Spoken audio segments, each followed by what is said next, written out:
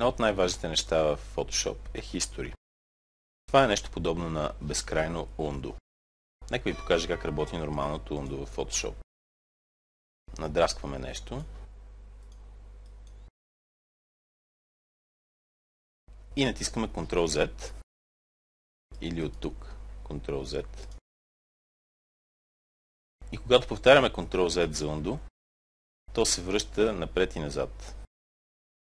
А когато използваме History, което се пуска от тук, Window History, се връщаме назад до началото на файла.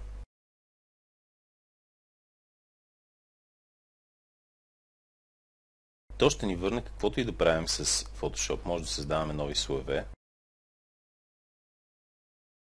или да пускаме филтри.